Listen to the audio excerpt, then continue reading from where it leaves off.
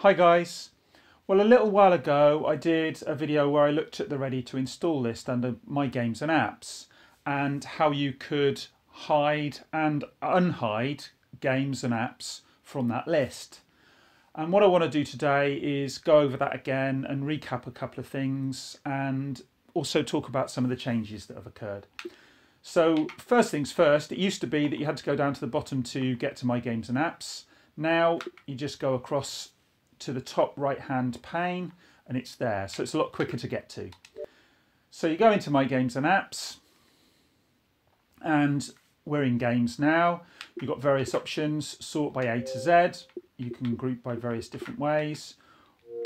You've got medium, large and small tiles and you can change your storage device as well.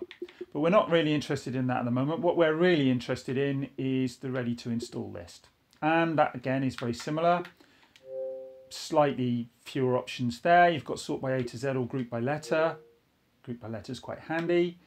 Again, you've got large, medium, small tiles. I like to have the medium tiles. And then you can have all items, just apps, or just games and I've got it currently set on just games.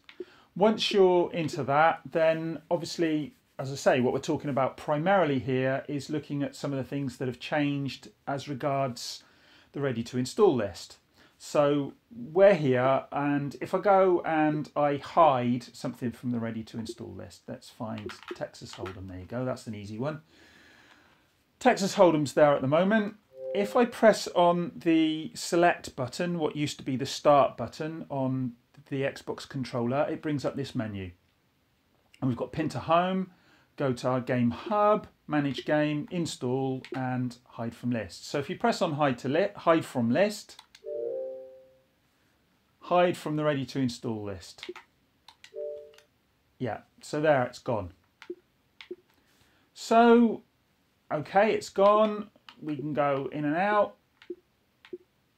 And if we go back down, it will still be gone, or it should be, if everything's working right. Yeah, it's still gone.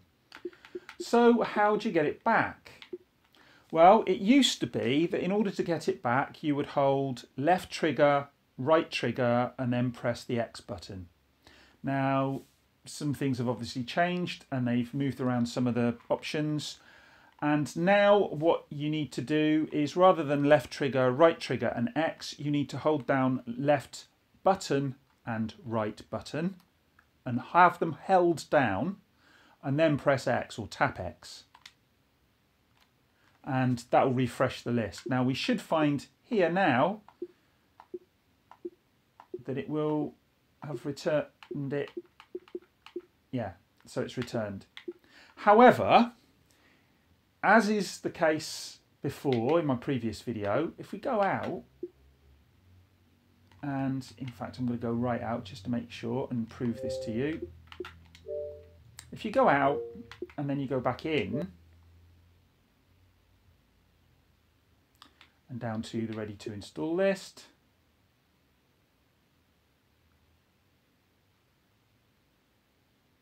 and Xbox really need to speed up its menus and it's gone again. So, how do we get it back again? Okay, so we hold the left button, right button, and tap X, and it will have returned it.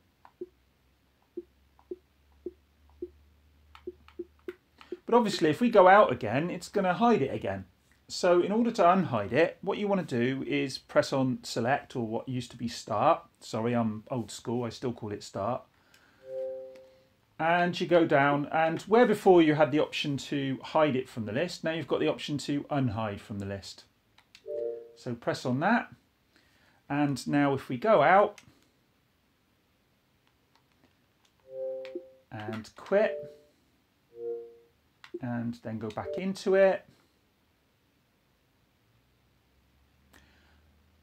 and oh, wrong one. We want to go down to ready to install. And we go down again. And you should find that Texas Hold'em is still there. Keep your fingers crossed. There you go, it's there. So yeah, that is how it works now. So instead of left trigger, right trigger and X, you hit left button, right button and X. And that should work for you until the next update when it'll all, all have changed again. But uh, yeah, hopefully that update will have helped you guys if you haven't already found out how to do that. And uh, yeah, it'll help me because I'll have forgotten by tomorrow and I'll have to check this video. All right, anyway, I'm done. I will speak to you guys again soon. Bye.